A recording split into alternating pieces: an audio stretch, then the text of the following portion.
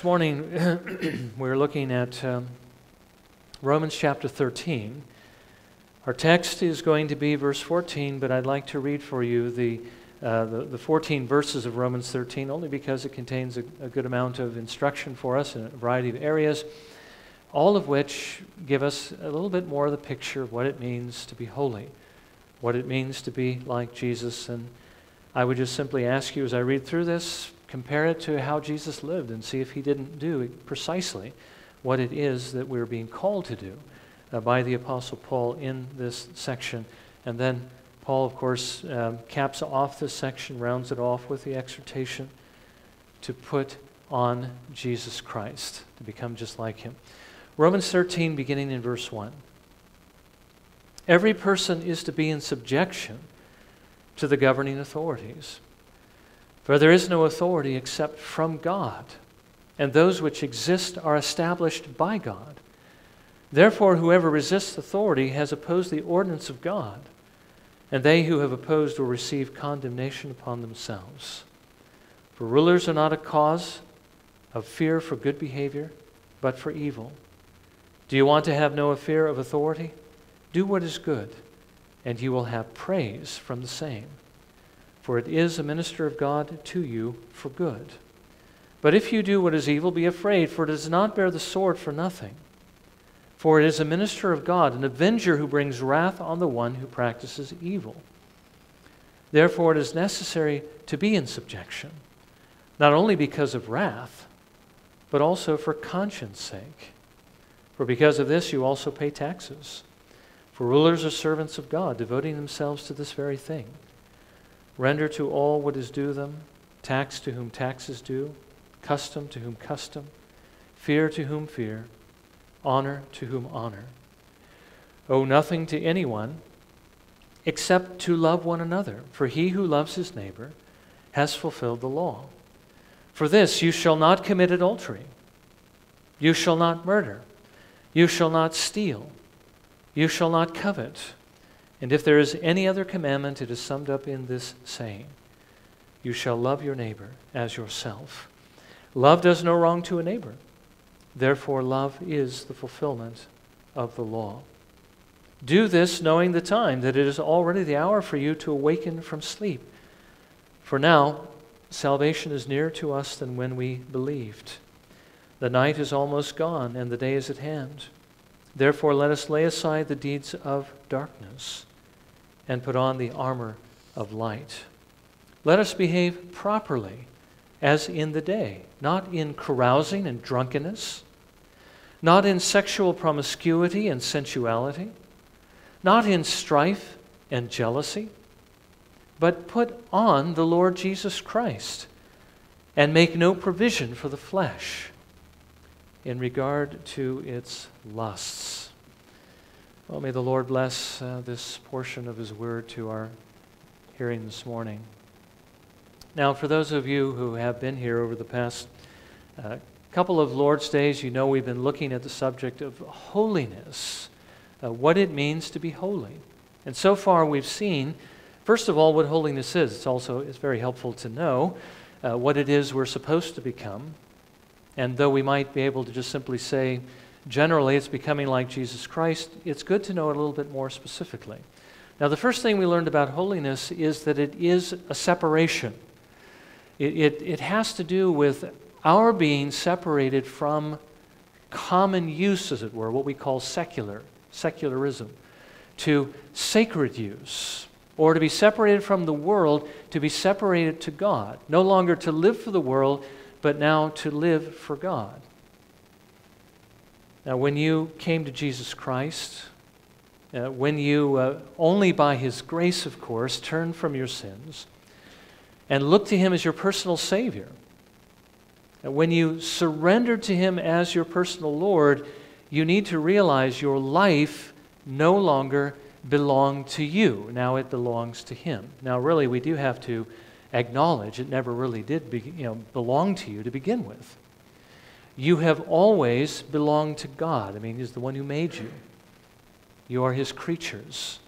Uh, he has sovereign right over you to do what He will. Now, again, you may not have realized it, and you may not have lived like you belonged to Him. As a matter of fact, you probably lived.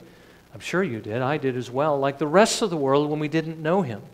As um, one English poet, William Ernest Henley, expresses in his famous poem, Invictus, as the master of your fate and the captain of your soul. In other words, you had the helm of your life. You were living the way you wanted to live, doing your own thing, but you need to realize you had no right to do that.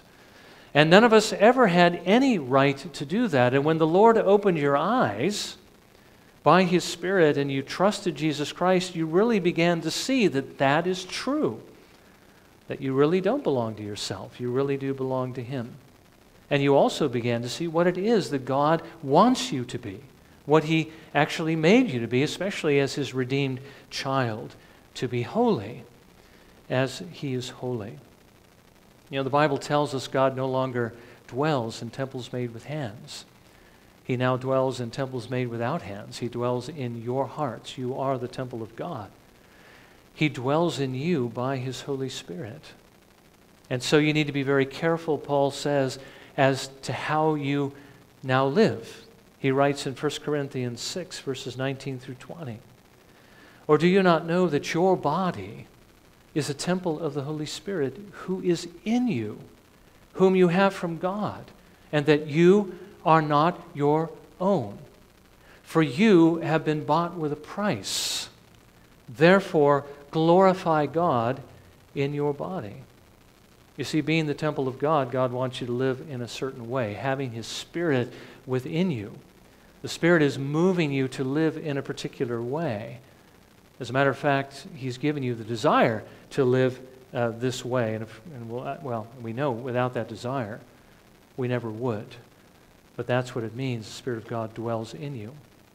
But we also saw, secondly, that God has not only given you or set you apart to Himself to be His, and given you the desire then to be holy and the call to be holy, that He has also given you um, incentives. Incentives to be holy. He says, for instance, that He will make you secure.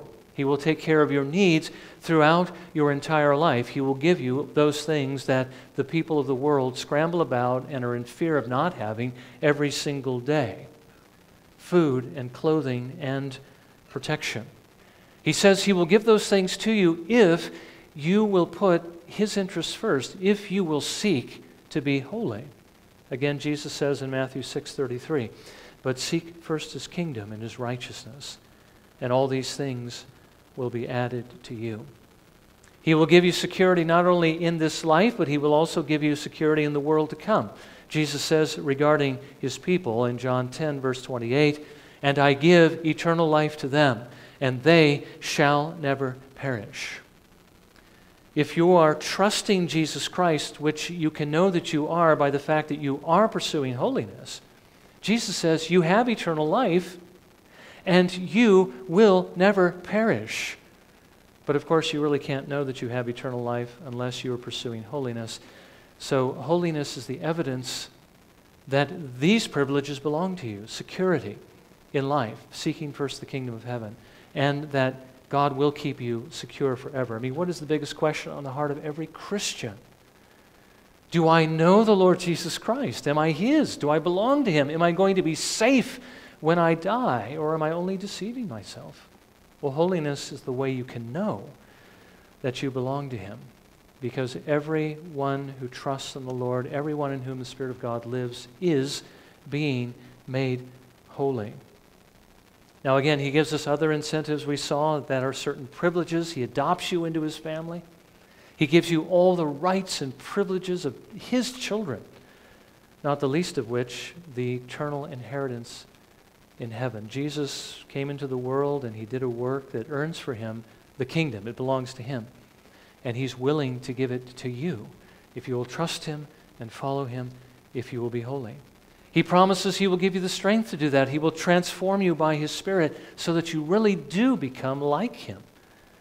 And of course, He will also give you the greatest privilege that any human being can have in this world the privilege of being the herald of this good news to other people so that they can escape hell and enter into heaven by trusting Jesus Christ. And then, in addition to all of this, we saw that he also promises to reward you for all the things that you're doing. I mean, he's already given you heaven when you deserve hell. He's already given you all these rights and these privileges. He's going to take care of you and so forth. But as you serve him in this world, he also says he's going to reward you. He's going to give you something for everything that you do for him. And that, I would remind you, is the only thing, the only thing that you and I will ever be able to take out of this world. Everything else we have to leave behind.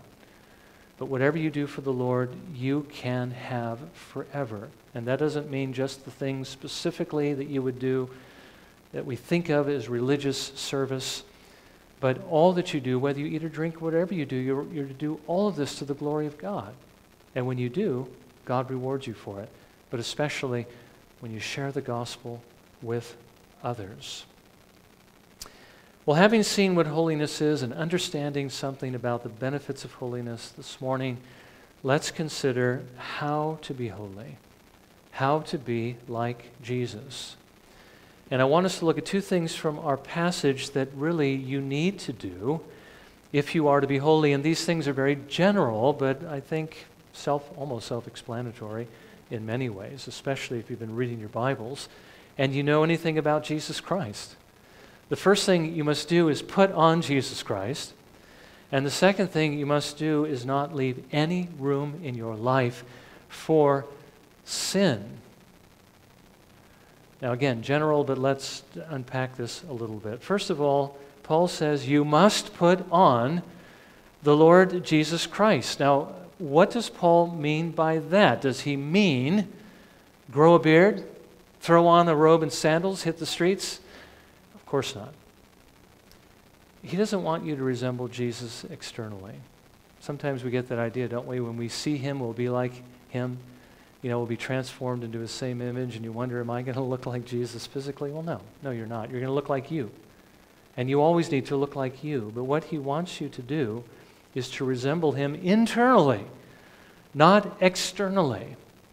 Okay, to put on something means that you are to clothe yourself with that thing. You know, clothe yourself with Christ.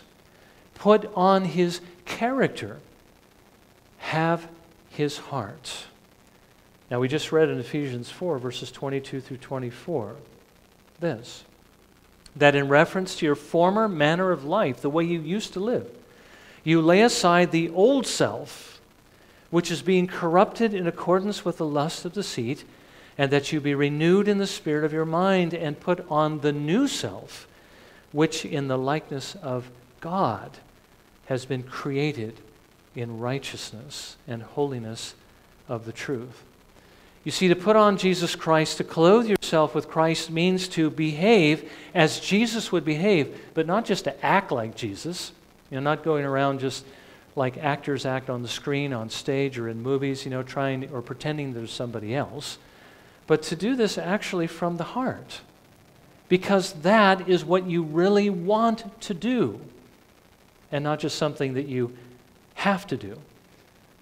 But again, remember, it doesn't happen automatically. You do have to do it, you do have to put effort into it. But God has given you a desire, and that makes it easier, isn't it? Or doesn't it? Okay. Well, how did Jesus live? Now, again, generally, how did Jesus live? We have the entire Bible to tell us how Jesus lived. But let me just summarize. Jesus lived every moment in his Father's presence.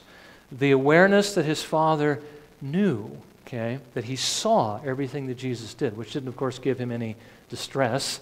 He loved that, that the Father saw him, that he heard every word that Jesus spoke that he understood every thought in his mind and knew everything that was in his heart. Now, that might be a cause of fear to us because we're not like Jesus. But it wasn't a fear to Jesus because his whole life was a continual act of devotion to God. See, God knew that in Jesus' heart was a love for him and that he did everything that he did for him. He knew what Jesus was really after. And knowing that the Father saw all these things, knowing that he understood all these things, Jesus lived to please the Father. His whole life was devoted to him as a continual act of worship. That's how he lived. He says in John 8 29, And he who sent me is with me, he has not left me alone. For I always do the things that are pleasing to him. Now, when we ask the question, how can you be more like Jesus? The first answer is you must follow his example, outwardly and inwardly. The example that he's given to you. Remember, he didn't die just to save you from your sins, but he died to break the power of sin in your life and to enable you to become like him. So, how do you become like Jesus in this way? Well, first of all, live in the presence of God. When you're faced with a choice, and how many choices do you have in life? I mean, when you open the mailbox, how many choices are you given? Uh, every moment throughout the day, we are we're faced with a series of choices. That's what life is decisions, constant decisions. Am I going to do this or that? Am I going to choose to do this or that? Well, right now you're faced with a choice whether to listen to what the Lord is, is saying here in His Word or to tune out, whether to act upon it if you understand what it is He's saying, or just to keep on going in the direction that you have been going. But you see, whatever the choice, you need to make a conscious decision at all times to do what you know is pleasing to the Father. That's what it means to clothe yourself with Christ. Well, how can you know what it is that God wants? Well, again, He's given you His Word, hasn't He? He's given you the Bible, particularly the commandments. Now, it means when you clothe yourself with Christ that when you speak, and all of us are talking all the time, aren't we? And some of us more than others. We need to be careful what we say. We need to make sure that what we are saying is pleasing to God. Uh, the Holy Spirit says through Paul the apostle, and we already read this in Ephesians 4:29, "Let no unwholesome word proceed from your mouth," and the word unwholesome there means anything that's unedifying anything that's not going to be profitable to the people you're talking to or about, something that is bad. Okay, don't let any unwholesome word proceed from your mouth, but only such a word as is good for edification, something that builds them up, something that will help them according to the need of the moment, so that it will give grace to those who hear. You want to clothe yourself with Christ when you speak you need to make sure you're saying things that are going to bless those who hear you and, and not be a source of grief to them. He also says in Ephesians 5, verses 1 through 6, Therefore, is, be imitators of God as beloved children and walk in love, just as Christ also loved you and gave himself up for us, an offering and a sacrifice to God as a fragrant aroma. But immorality or impurity or greed must not even be named among you, as is proper among saints. And there must be no filthiness and silly talk or coarse jesting, which are not fitting, but rather giving of thanks. You notice how he includes language along with the other things that we could possibly do. And he gives this warning for this you know with certainty that no immoral or impure person or covetous man who is an idolater has an inheritance in the kingdom of Christ and God. Let no one deceive you with empty words. For because of these things, the wrath of God comes upon the sons of disobedience. If you're going to clothe yourself with Christ, it means a number of things. It means making good choices, choices that honor God, but it also means speaking good words that are going to minister to others. You also need to make sure your thoughts are honoring to Him, your desires are the things that God approves of. That you're taking every thought captive, and that every desire is for the glory of God. That you love Him and you're seeking to honor Him in all that you do because He's worthy, because it's right, because it's good, because of the rewards and everything that He promises. But again, how can you know whether your thoughts are pleasing to God? How can you know whether your desires, what's in your heart, is, is what pleases Him or not? Well, again, the Word of God gives you help, as the author to the Hebrews says in Hebrews 4, verses 12 through 13.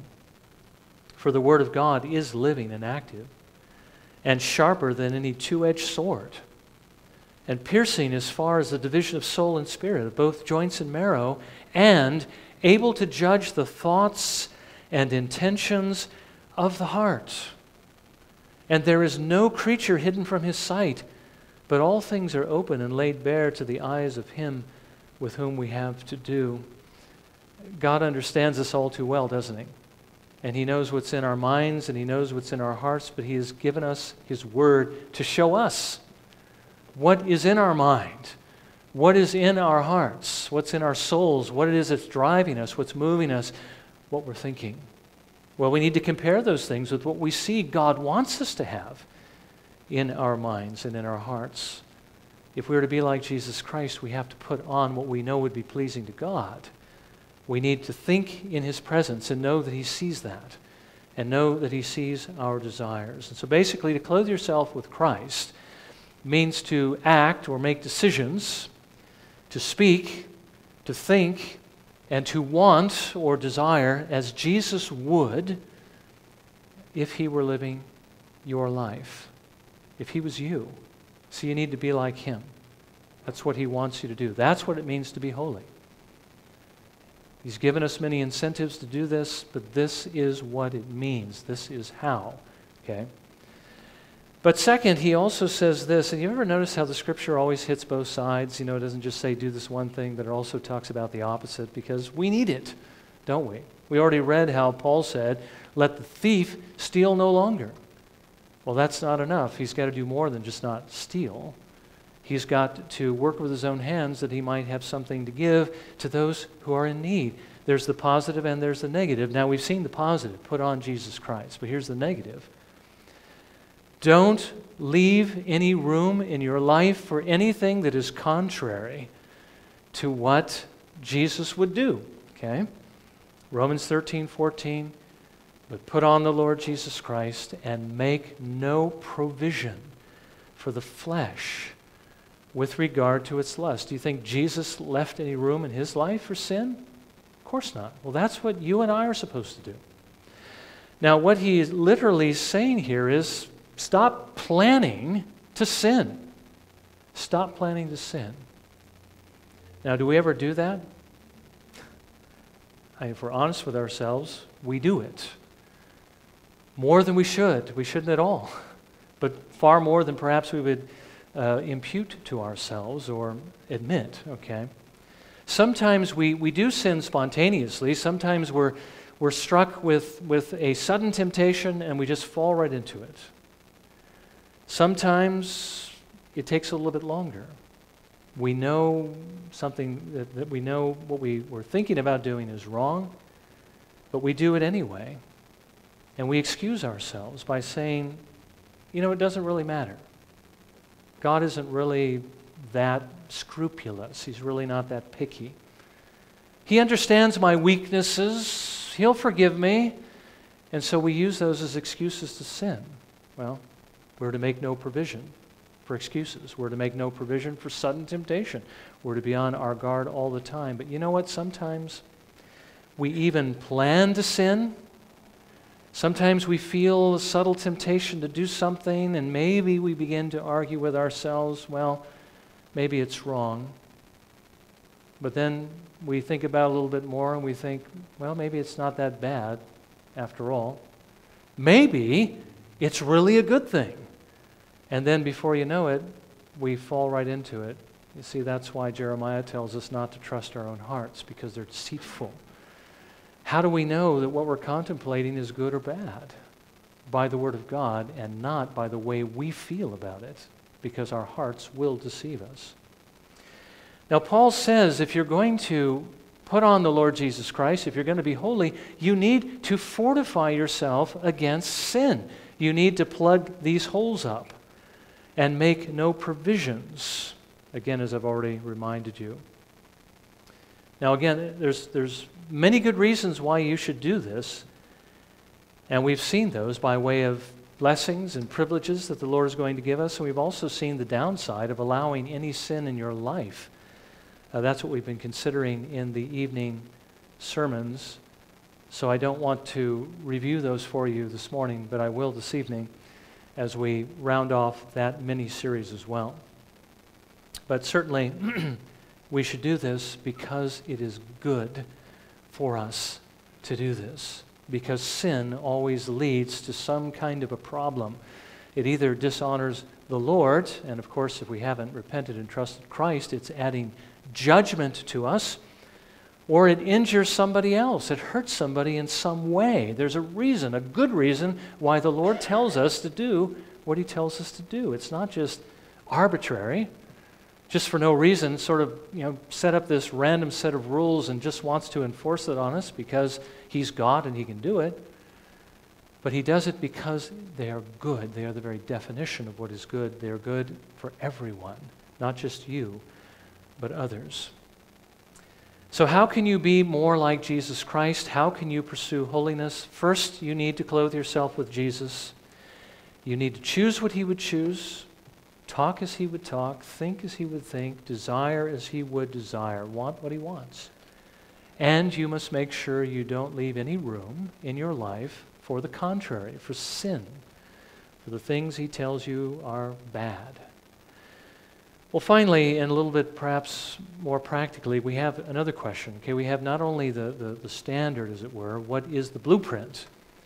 What direction am I to follow? Well, here's the direction Jesus. He's given to you, you know, a living example of what God looks like in human flesh. The Word became flesh and tabernacled among us, and we saw His glory. The only begotten God who is in the bosom of the Father, John tells us, has exegeted God. He has explained him to us. We have actually seen how God would live if he were living as one of us. That's how we are to live. That's why, you know, again, be holy as I am holy, be perfect as I am perfect. Uh, put on the Lord Jesus Christ. But how do you do that? You know, where do you find the power to put on Jesus? Where do you find the power to put off sin and make no room in your life for it? Well, you know you're not going to find it in yourself because you and I don't have that power. We don't have that strength. You can't do it on your own. That's the reason why there's a gospel. That's the reason why there's this good news. That's why God sent his Son into the world. As I mentioned earlier, not only to free you from guilt so that you wouldn't go to hell, but to set you free from the power of sin so that you could live a holy life. If you want to be holy, you have to start here. You have to know Jesus Christ. You have to believe on him. You know, the, the, the, message of the gospel is so very simple, isn't it? That sometimes we, we almost tune it out every time it comes around, but we do need to listen to it. Turn from your sins. Trust Jesus Christ and Him alone to save you. Now, the danger of having heard it so many times is if you've heard it and you haven't responded to it, each time you hear it and don't respond to it, you get a little bit harder against it. There's something that's called gospel hardening, where you can hear the truth so many times that it no longer has any impact in your life. As a matter of fact, we have to be careful, even as believers, that that doesn't happen to us. We have the Lord's Supper, you know every week, and sometimes it can lose its significance because we have it every week and we do it so often and so forth. But we can't let it lose its significance. We don't want to become hardened against it. We want to take it seriously. We want to take everything that God says seriously. If you haven't responded to the gospel, if you haven't turned from your sins and trusted Jesus Christ, you need to do that. God says to you in Hebrews 4 7, Today, if you hear his voice, do not harden your hearts. There's only one way you can reject the gospel, and that is by hardening your heart against it.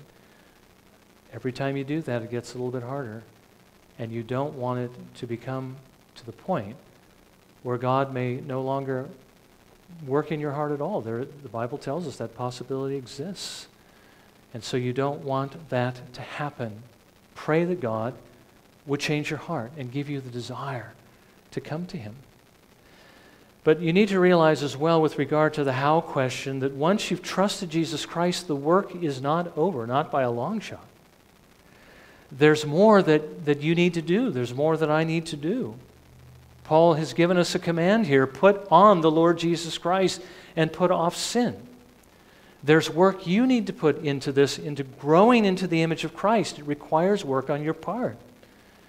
It doesn't happen automatically. It's, it's strange how sin can deceive us into thinking it does. But what did Paul mean when he says, work out your salvation with fear and trembling? Because it is God who is at work in you, both to will and to do of his good pleasure.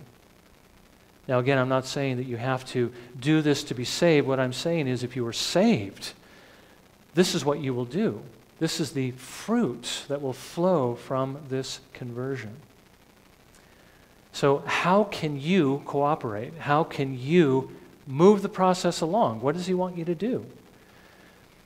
Well, you need to use what God has given to you the means of sanctification, what we call the means of grace, the way that God will sanctify you. Read your Bibles. Try to understand what the Bible says. That's what reading the Bible together is all about, right? Is reading the Bible and trying to understand what it says. But don't forget, God hasn't called you to be a walking encyclopedia of knowledge that can answer any Bible questions, kind of like the Bible Answer Man, you know, that Walter Martin, I guess, when he used to do the Bible Answer Man program, which he's, he's gone to be with the Lord and somebody else has taken his place. One person asked him one time, Do you have like a team of experts that are looking up all the answers to these questions so that you can, you know, answer all these questions? He says, he goes, he goes No. He, he goes, Do you have a computer that you use? He says, I only have one computer. It's right here. And all of it's in here. And I answer from in here because I read the Bible. Okay? Well, we need to be able to do that, maybe not quite to that proficiency, although we should become as proficient as we can. But, and I'm not saying Walter Martin did this, don't, don't look at this as a negative example. But we can't have it just appear and not have it reach our lives, you see. Uh, it doesn't do you any good if you know the right thing to do, but you don't do it, or you know the wrong thing to stay away from, but you still do it. That doesn't do you any good. As a matter of fact, it works against you, doesn't it? Because now you're more culpable because you know the truth. What, what did Jesus say about Capernaum, you know, and, and uh, the cities in which he preached the gospel. He said it would be more tolerable for Sodom and Gomorrah in the day of judgment than for Tyre and Sidon, for Capernaum, because he preached there and he gave them more light. They were culpable, but those in Sodom and Gomorrah who committed horrendous sins did so in the dark. They did not know God's truth as Jesus had revealed it through his word and through his miracles in Capernaum. So we do need to be careful how we handle what we know. We need to make sure we apply what we know and what we read to our lives. As I mentioned in the evening service, even one sin can sink you forever if you don't repent of it. If you know God tells you not to do it and you do it, or if, you, if He tells you uh, do something and you don't do it, we have to be seeking to put on and put off in every area, and that's what we will do if we are true believers. Read the Bible, Apply the Bible, live the Bible, become like Jesus Christ. Seek God in prayer. Seek Him earnestly to give you power, to give you strength to live the kind of life He calls you to live. Spend time worshiping God. Meet with His people on the day of worship. Worship in private.